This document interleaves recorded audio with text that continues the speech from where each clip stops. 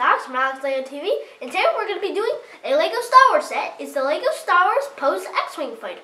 It comes with 717 pieces.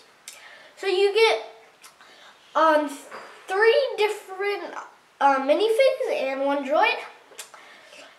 You get Poe that's new, and the guy that carries the the people, and BB-8. He is a new figure for the 2016 Lego Star Wars. So let's first take a look at the minifigs. So first you get Poe. He comes with a black helmet and with the yellow goggle piece and he has his happy face. And if you take if you flip his head over, he has a double face. He has the I won face sort of thing, like he's like, I'm gonna get you. And like every other um, X-Wing, they have that printing. And he comes with a gun that's inside that X-Wing. The other guy has a white helmet piece and the yellow goggle piece. He comes with a gun too. And he has the printing as a normal person of an X-Wing does. He doesn't have a back printing face. Yeah. And the guy that carries that transport, he has this cool helmet and he doesn't have any back printings but the front piece I really like. And the back he has awesome it's awesome. And the BB-8 yay beep bop beep bop that means hi. And he's it's a two thing so just this ball and his head. He has very nice printing as the actual movie if you look close and now we're to take a look at the, the ladder and the, the transport. So you can put a minifig, there's two little studs that you put one by um, two. And in the middle there's two studs, so you put your minifig. You put the minifig's hands on these two levers and it makes it go back and forth. It has some cool lights. Um, and it comes with this little box where you can open up and it has a sticker piece for the resistance. You open it up, you got some lasers, and it comes with the wrench too. And a laser, so you can, I'll show you guys how this works later. So, and then you just hop, put that on the back. And you can put the minifig right here. And you can put Poe to, to go to his next one right here.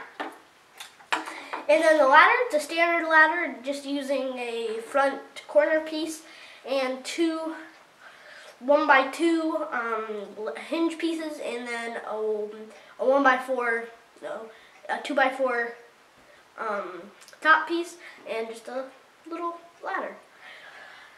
And now let's take a cl closer look of Poe's X-Wing.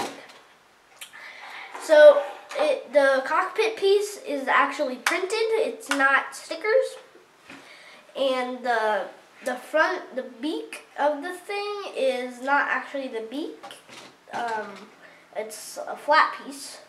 And on the bottom, there's this little hinge piece that you can make it this thing stand